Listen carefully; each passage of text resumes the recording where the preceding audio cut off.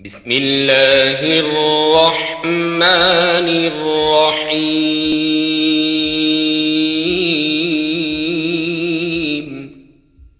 পরম করুণাময় ও অসীম দয়ালু আল্লাহর নামে শুরু করছি সজাগ থাকিও বাংলাদেশি মানুষ বাংলাদেশি আপনারা না বাঙালি দেই জবাব কি রাখলে দিতে পারেন বাংলাদেশি না বাঙালি হ্যাঁ ঘটনা কি?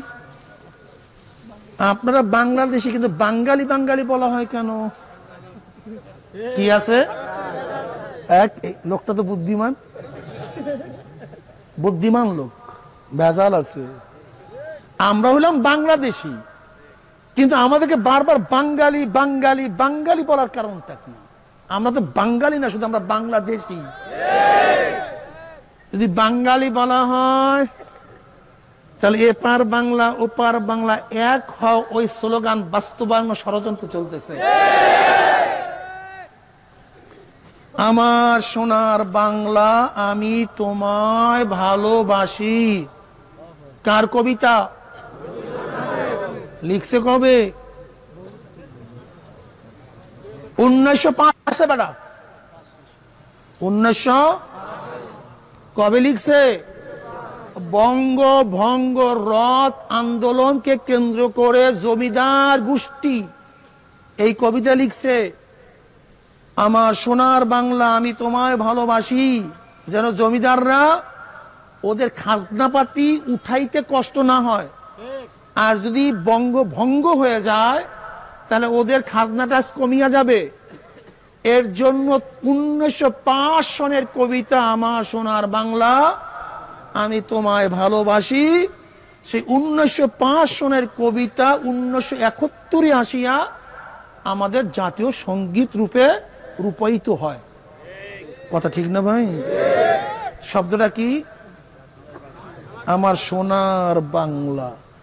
উনিশশো পাঁচ সনে তো বাংলাদেশ নামে কোনো দেশ ছিল না। উনিশশো একাত্তরে বাংলাদেশ সম্পর্কে একটা দেশ হয়েছে তো উনিশশো পাঁচ সনের কবিতা, যেখানে বঙ্গ ভঙ্গ নিয়ে আলোচনা, সেই কবিতা আমাদের দেশের জাতীয়করণ কেন হইল?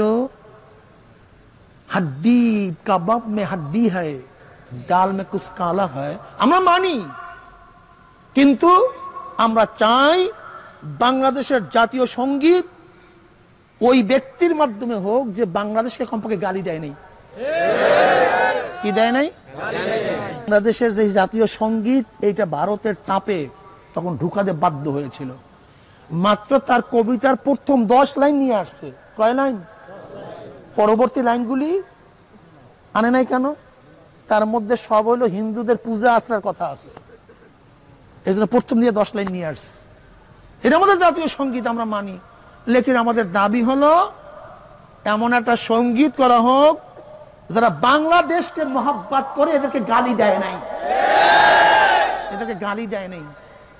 আর যারা ইউনিভার্সিটি হওয়ার জন্য বাধা দেয় নাই, এমন এক ব্যক্তিদের বাংলাদেশের জাতীয় সংগীত হওয়া উচিত। এইটাও মানি। কিন্তু দাবি তো থাকতেই পারে ভাই। সংবিধান পরিবর্তনের দাবি থাকতে পারে না। অসুবিধা কোথায়? এই যে যতক্ষণ আছে ততক্ষণ আমরা মানি।